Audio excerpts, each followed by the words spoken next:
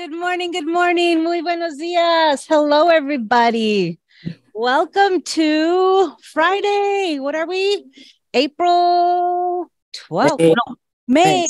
May 12th. May 12th. I'd like to welcome you to.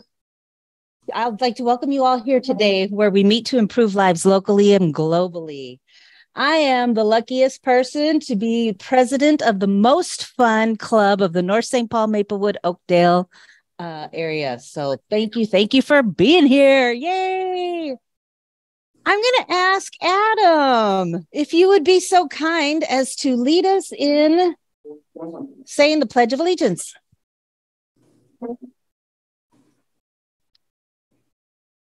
I pledge allegiance To the flag of the United States of America and to the republic for which it stands, one nation, under under God, God, indivisible, with, liberty and justice for all.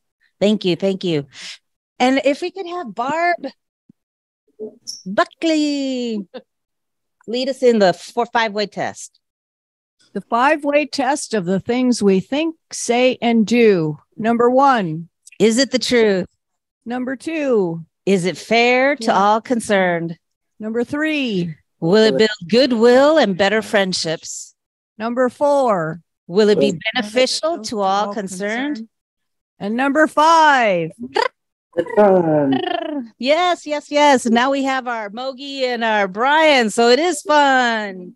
All right. Well, was everyone greeted this morning? Does does our greeter have a invocation or welcome? So mine is really short today, but um, I also dressed for the part here too. So protect public education. So this this statement comes from a woman named uh, Chi uh, Tishi, who is the Prime Minister of Education or the Minister of Education for Delhi. And basically, it's simple as this: No country which is now developed has done so without providing high quality public education. So let's think about that and ways we can continue to protect public education. And if you want to know what any of the threats are, you can come and talk to me. Wonderful. Thank you. Well, Thank you, uh, Joe and, and Rochelle. I have a few announcements. Um, coming up, we have Youth Service Day with uh, students from North High on May 16th. It's a Tuesday. So coming up um, at Rotary Park, where they're to do the the garden, the rain garden and stuff like that. So if you're available, um, wear your Rotary t-shirt. There's going to be youth um, at 9:15 at Rotary Park on Tuesday, May 16th. Also, we have a board meeting on Tuesday, May 16th, and we will be having our final happy hour at the Crooked Pint on Wednesday at six o'clock. Um, so Crooked Pint happy hour, six o'clock, Wednesday, May 16th. Put it on your calendars. Also, we were uh, invited, and I think I shared it with you guys. The uh, White Bear Club has adopted a highway, and since we live in on Highway 36, we we are here and use it very often. They're having the Adopt a Highway on Saturday, June 3rd from 9 to 1. So if you're available and willing, they're going, they, we collectively, although I'm not going to be around, um, highway between Highway 36, um, or not between Highway 36, on Highway 36 between White Bear Avenue and Arcade. There's going to be uh, a, and they need people of all, like people to transport, uh, bring your gloves. But I think um, the highway is going to have uh, bags and stuff like that. But if you have gloves and rakes, and you know, we'll be picking up trash along Highway 36 between White Bear Avenue and Arcade, June 3rd. It's a Saturday from 9 to 1. Um, I have the link right here on my paper that I can send out to folks with information. I, I don't know exactly the corner that they'll be, but I'll share that on via email. Um, also, there's a clipboard that's going around. If people haven't signed up for red ticket baskets and big baskets and Baskets, baskets. Uh, our biggest uh, fundraiser is happening on Saturday, Ju- uh, September 8th. So if you have your raffle tickets and stuff like that, our clay shoot, start looking for folks and teams to, to participate in that. Um, just want to let you know, uh, Rochelle and I will be heading out on Wednesday to Australia, mates, and we will be gone. I want to thank um, Barb. She will be covering in my place. We will not be having Rotary um, this Friday, the 19th, coming up because we have happy hour on Wednesday. So no Rotary on the 19th. And we won't have it the following Friday because of Memorial Weekend. So no Rotary officially meeting on the next two Fridays, but then Barb will be taking it the first Friday in June. Okay.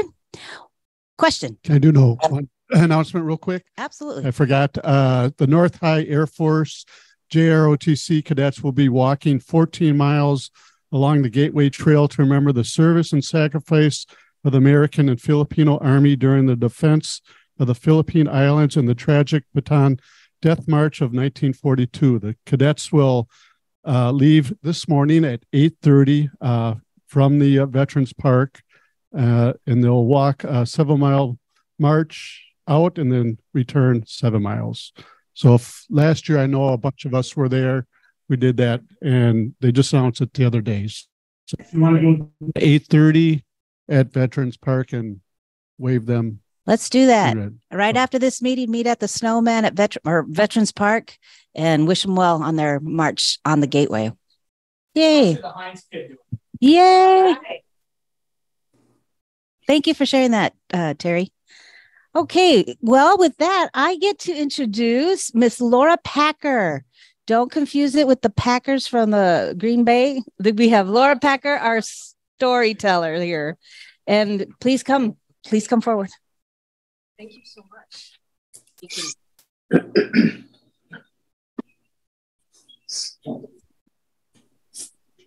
So let me start by saying to you just how glad I am to be here this morning. So I'm going to tell you a little bit about myself before I dive into my presentation. Can you all hear me okay? And I mm-hmm. just want to say to the folks who are dialed in, I'm really glad you're here. There's going to be a raffle that I'm going to pass a clipboard for, and I'm really sorry you can't sign up for it. But if you send me an email, I will send you a little treat for being so bold as to come virtually, even though you couldn't be here in person.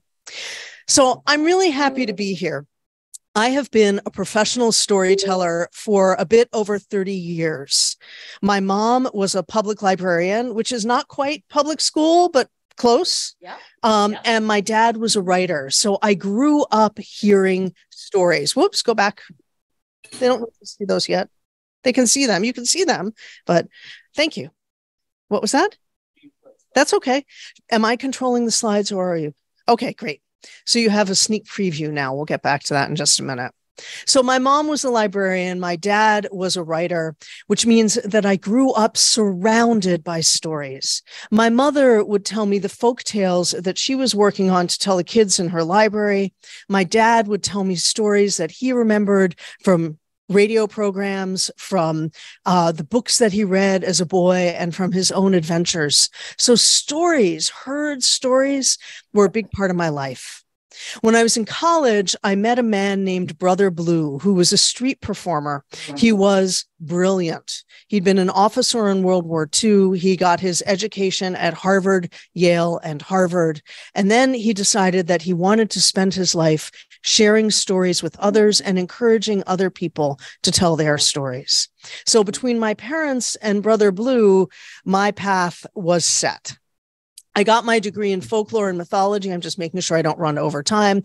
I got my degree in folklore and mythology from Boston University, and that was pretty much it. I had a few other jobs, but storytelling has been the thread mm-hmm. that has been woven through my life. In my time, I have performed at festivals, in schools, libraries, assisted living facilities, arts venues, on the streets, prisons, all kinds of places, because I believe that storytelling is fundamental to what it is to be human.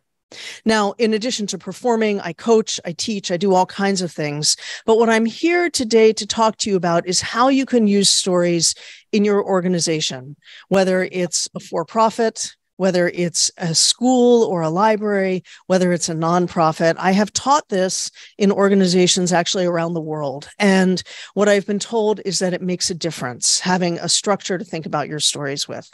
Now, if any of you are interested in talking with me afterwards about just how do you tell a story to your kid or your grandkid, I would be really mm-hmm. happy to talk about that.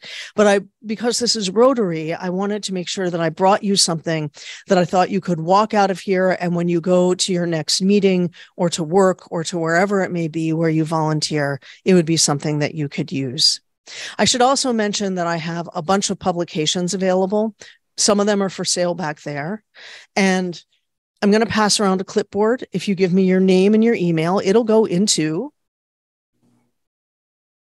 a raffle for my booklet, my workbook, the five critical organizational stories, and how to tell a great story. And yes, I'm interested in adding you to my email list. But if you only want to be on the raffle, just write no next to your name and email. I will not put you on my list. I hate spam. I do not want to give anybody spam. So I'm going to start sending this around while I start talking, and I'll do the raffle at the end.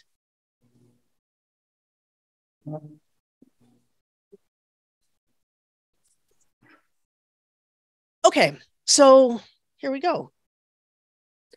Why storytelling? This is what most people think of when they hear the word storytelling. They think of the moth or some other venue where people share personal stories, which are often angsty and painful or sometimes very funny, or they think of sharing stories with kids. But storytelling is something that we do everywhere in our lives. And it can be done in meetings, in presentations, at home, on the bus, when you're in the car, wherever you are, storytelling is something that humans do.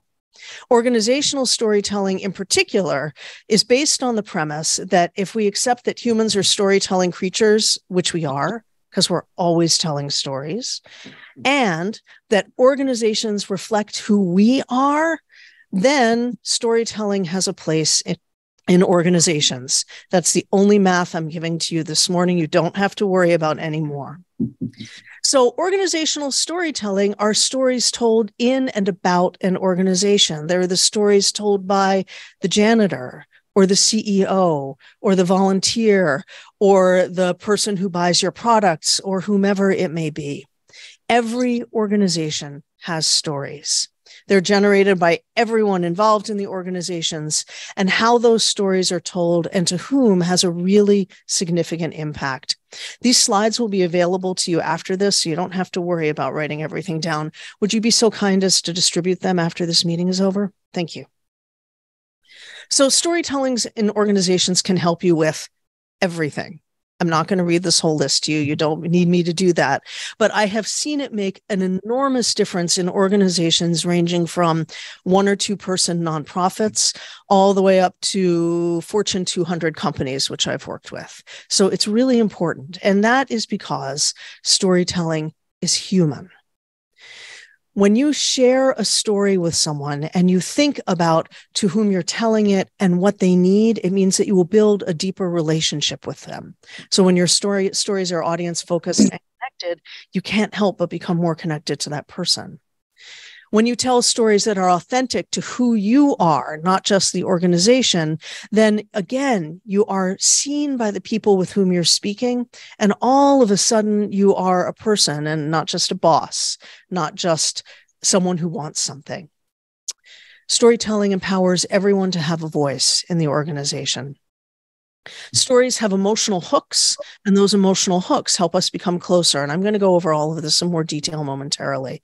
So, when you share stories in an organization, the people there will be more connected, and your culture will be much, much richer. People will care far more about the organization because they care about each other. Finally, I'm going to touch very briefly on data and story, which could be a whole other presentation. Storytelling is actually a very effective way to gather data about how people feel about the organization. You can ask people for their stories and then derive trends from those stories. But Data alone is never enough to convince someone to do something. There needs to be a story attached to it. Now, I'm sure that all of you have received fundraising appeals from various organizations that give you a whole bunch of statistics and then give you a story. It'll mostly be the story that moves you to action. When I do this training in organizations, when I get to this part, I spend a lot more time on it. And what I do is I offer a number of statistics about cancer in the United States. Cancer is the third leading cause of death in the US. It costs billions and billions of dollars a year. Families are disrupted from it. X number of people die every year from cancer. And those statistics are important and meaningful. But when I tell you that my first husband died from pancreatic cancer when I was 46 years old and he was 55, when I tell you that he left behind three kids, all of a sudden it's a different story. And so when you take the data and the story and you put it together, you have something really quite remarkable. So why, why does it work this way? Well, humans are hardwired for storytelling. In the 1990s, when we were in Iran and Iraq, well, mostly in Iraq, um, the military noticed that when they sent soldiers out to villages to try and build relationships with the people in those villages, some of the soldiers did really well and some of them didn't, even though they all had the same resources. They had the same things that they could offer people, they had the same amount of money, they had the same equipment. So they began to wonder why were some of these folks more effective than others? And what they realized is it came down to relationships and stories. So if a soldier was there and there was a little kid running around, a little girl, and they said to the leader with whom they were speaking, Is that your granddaughter? Oh, she's beautiful. Look, here's my daughter, and shows a picture of that child. And the two start sharing stories about those kids. The relationship will deepen very quickly. Well, the military began to wonder why this happened. So, DARPA, the Defense Advanced Research Projects Agency, which is a mouthful to say at this hour in the morning, decided to put some money into finding out how the brain reacts to narrative. And a whole field of study called narrative neurology was born. I love this stuff. I'm only going to do it on this one slide, but if you have questions, to ask me later. They put people in MRI machines and looked at where blood flow went in their brains, which indicated what part of the brain was active when people heard a story told to them, when they read a story, and when they watched a video. And what they found is that people's brains are far more engaged when we hear stories. And if you think about it, this makes sense because we've been telling stories to each other for tens of thousands of years. Most of our families have been reading for five or eight generations at the most. And video is still within living memory when that started. My mother can still talk about the first time she saw television. So our brains are wired for story. When we hear a story, we are much more likely to remember it. So stories are vital in learning because we hear a story and we remember what happened. Something called neural coupling happens in storytelling. So if I were to tell you a story about running, I never expected the zombies to come to my neighborhood, but there they were, scratching at the walls. And I knew I had to get out of there. So I ran downstairs and out the back door and I started running and I could hear them moaning as they were shuffling after me. My heart was pounding, my breath was rasping in my throat. And I thought, oh God, I'm going to die. So if I were to tell you that story, my brain would actually think I was running. The parts of my brain involved in running would get really engaged. That's called neural coupling. But what's more, your brains would think you were running. Yeah, yeah, no zombies. As far as I know, you're okay. Storytelling is experiential. So when we hear a story and we're really engaged in it, our brains actually think we are doing that activity, which is why storytelling is so vital in learning. Whether it's the speaker or the listener, our brains believe that. The hormones associated with relationship building skyrocket when we hear stories. So, if I were to tell you more of the story about my first husband's passing, the hormones re- related to empathy and compassion in your bloodstream would be sky high. We would be much more likely to be able to become friends right after hearing a story than we would if I just stood here and didn't share anything other than dry facts with you. And finally, the left and right hemispheres of our brains are deeply engaged when we hear stories. With most activities, it's mostly the left or mostly the right, but oral story, told story makes the whole brain light up. So this means there's something called whole brain engagement going on. Those of you who are educators know about whole brain engagement.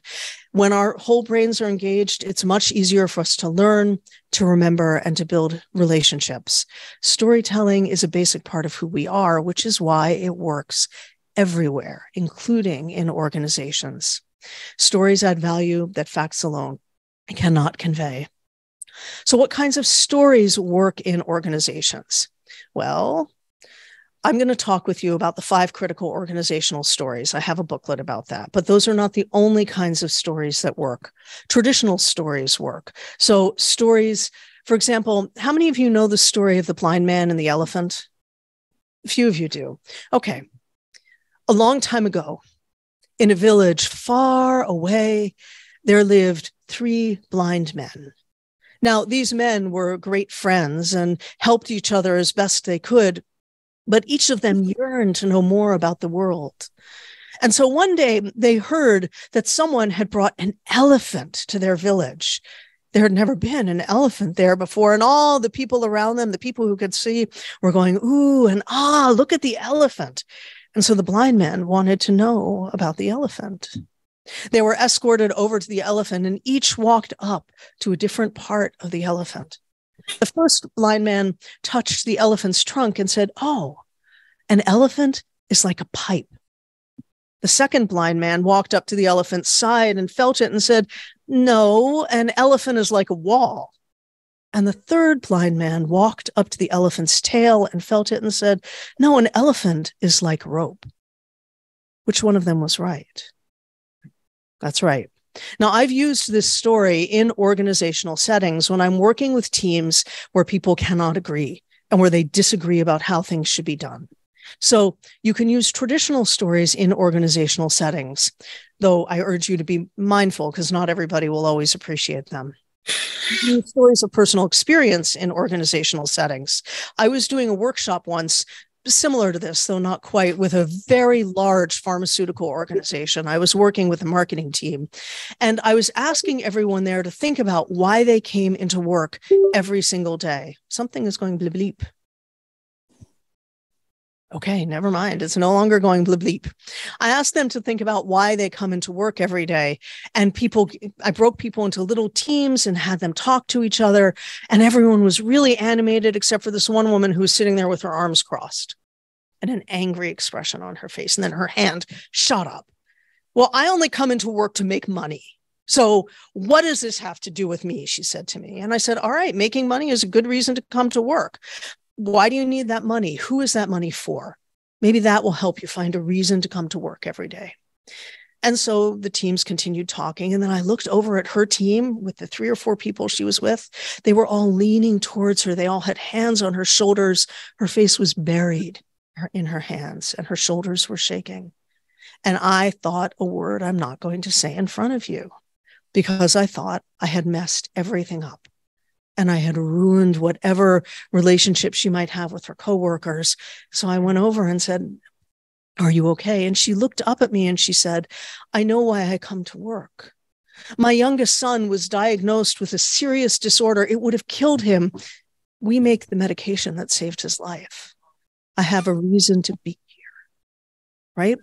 So that's a powerful story. And that's the kind of personal story that you can share that makes a difference in organizations. You can tell historical stories. Um, one of you was telling a story about Jefferson earlier. And so those kinds of historical stories make a difference everywhere because there are shared context. And there are many other kinds of stories. But the rest of this talk is about the five critical organizational stories. Before I continue, does anyone have any questions? Okay. So, what are they? Well, the first kind of story is the history or foundational story. So it's how the organization was founded, what was the launching problem, because no organization or very few organizations are solved if there's not a problem. Like Rotary, people came together to make do, do good in the community, solving problems in the community. Who were the founders? Why did they decide to do this work? Another kind of story is the mission, vision, and values in action. In that case, you need specific examples of the organization doing what you say you're going to do. So, how do you live up to the mission? How do you promote the vision? How do you actually honor the values? And this can be a very personal story as well, because your values may align with your organization. So, that's part of why you're there people and results stories, success and failure stories. Success stories can be about specific individuals. So you did a great job setting up the tech this morning. There is a success story. If the tech had failed, it wouldn't be about you. It would be about a failure of the equipment or a failure in the organization. You never throw a single individual under, under the bus unless you're talking about yourself. But this gives you an opportunity to talk about how you respond to failure and how you adapt your personal commitment story. Why do you care? How does it align with your values? The woman that I just told you about, it was her personal commitment story that moved her to tears. And finally, the manifesto story is looking to the future. So that's usually we as an organization are working towards this goal, and this is how we're doing it.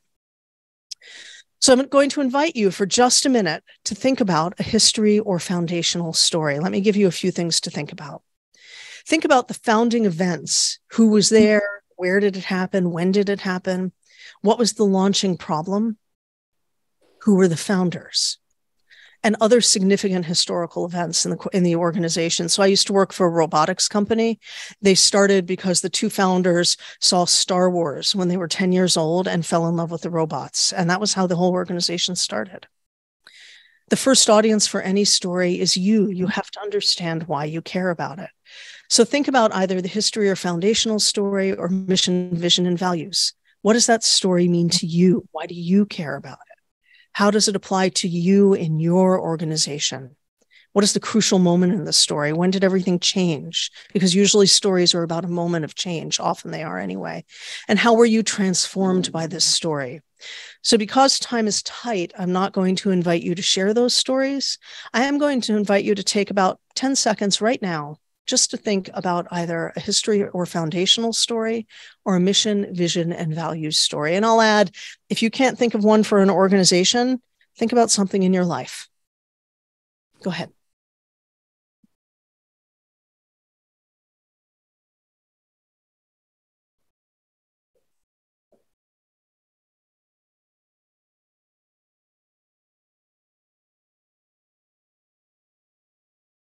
It's hard to think for 15 seconds, isn't it?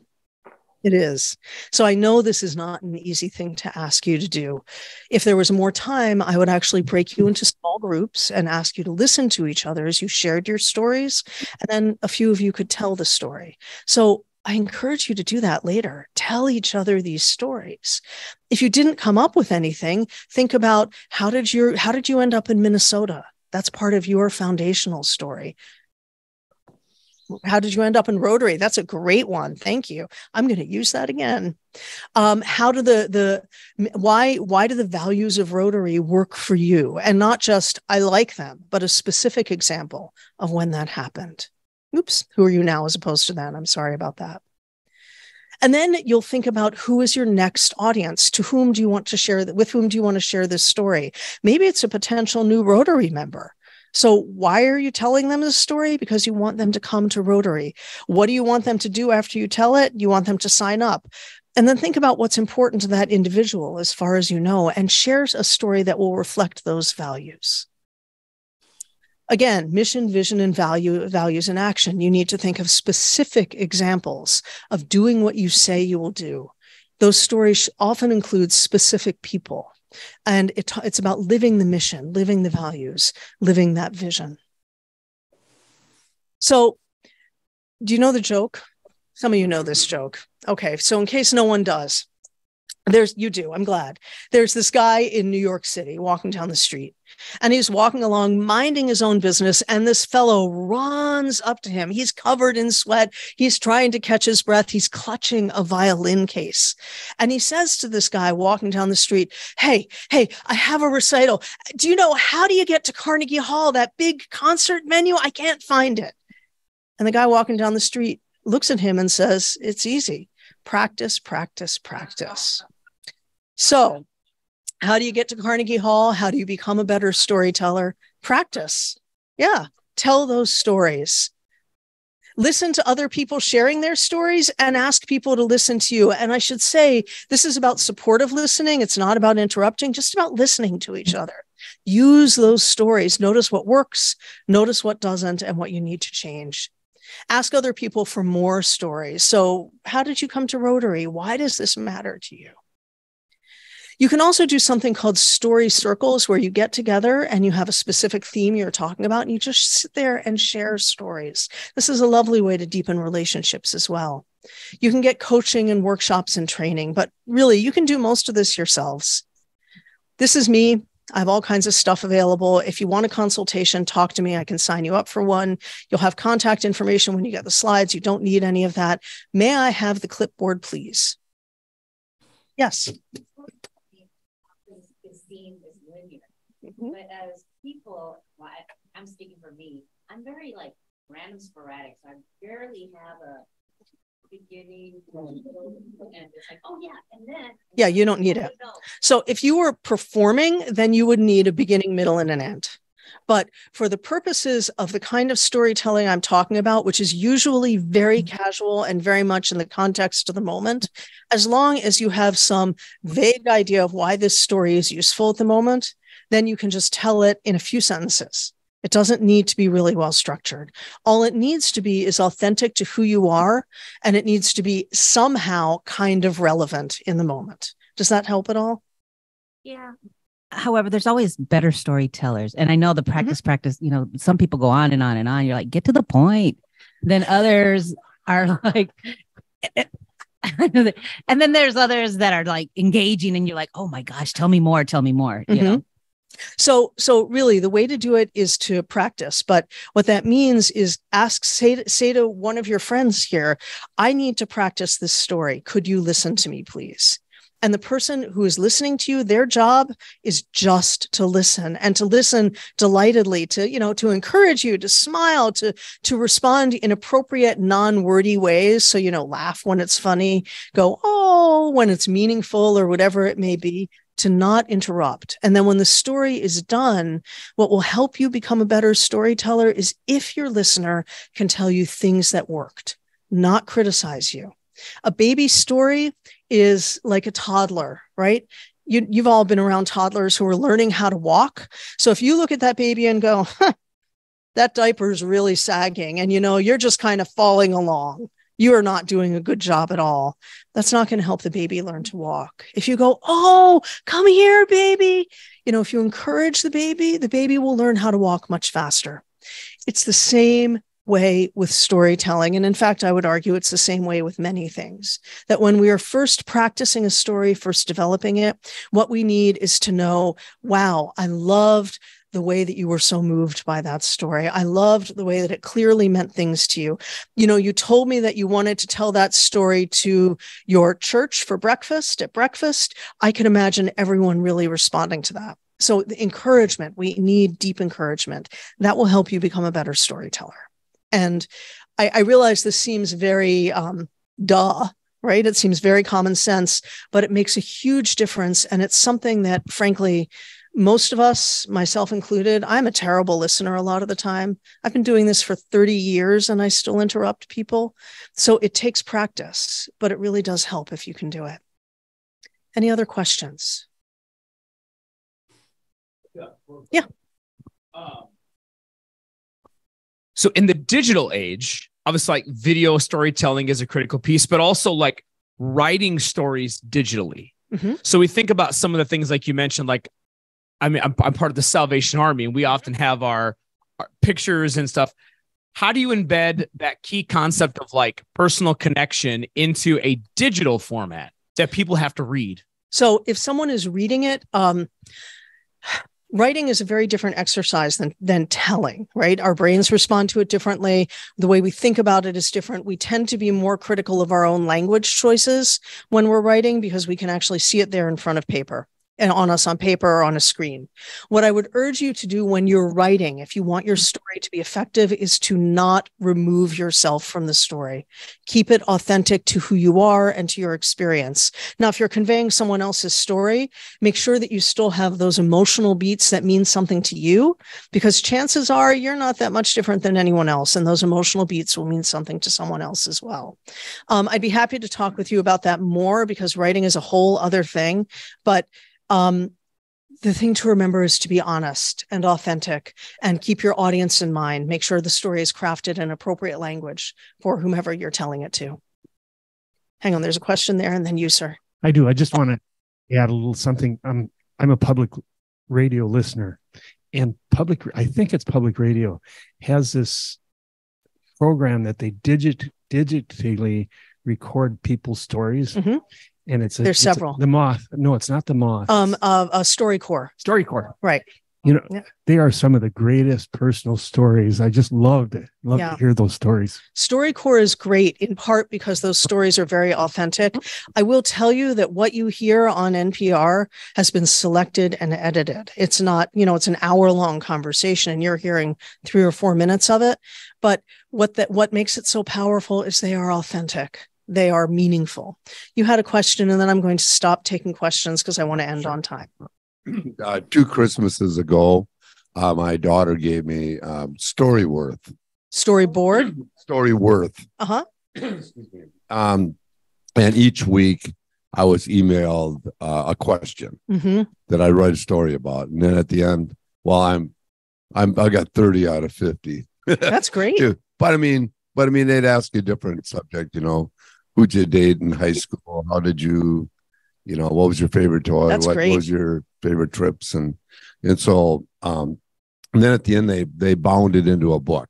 That's amazing. can I love that. pictures and all that sort of I stuff. love So, that. That's yeah, it's been it's it's been great to, and then they they see it every week too when you send it back to both my kids. So it's Yeah. been fun. those personal stories will, will are fabulous. Write your stories down while you can or record them. So I'm going to pick a random number between 1 and 13. Hey Siri. Pick a random number between 1 and 13 please. One. Nice try. Oh, she didn't hear me. Let me try it one more time. Hey Siri. Pick a random number between 1 and 13 please. The answer is nine. Nine. Okay. All right. So nine is Barb Buckley. All right. I'll bring these over to you. Thank you so much for inviting me to share this with you. I hope you found it useful. If you have other questions about storytelling or if I can be of service to you, please let me know. Thank you very much.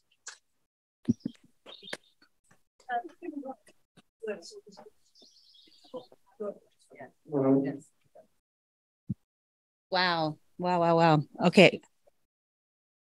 Couple things I forgot to mention here. Uh, talking about stories, um, there's a thank you note for your generous, uh, incredible generosity for your support of 62. It's very much appreciated. And I can't read. Oh, I'm not sure who this is from.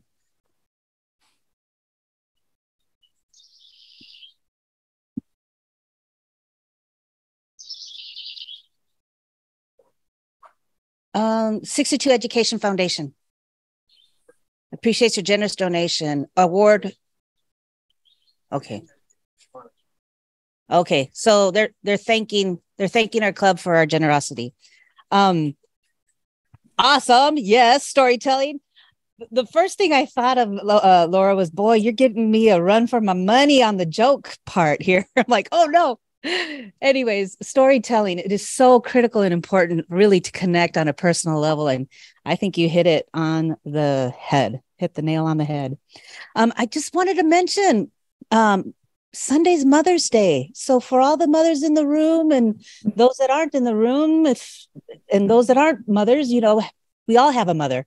So happy Mother's Day. Uh, and just an FYI. Woo! there we go. And just an FYI, if you didn't know, Mexican Mother's Day is always the 10th of May, Dia de las Madres. Um, in here in the US, it's always the second Sunday, but May 10th is always Mexican Mother's Day, just an FYI. I know that's today. That's today. Okay. Together we see a world where people unite and take action to create lasting change across the globe in our communities and in ourselves. Why? So that we can increase our impact, expand our reach, enhance participant engagement, and increase our ability to adapt. So here's my take on a funny. What washes up on very small beaches?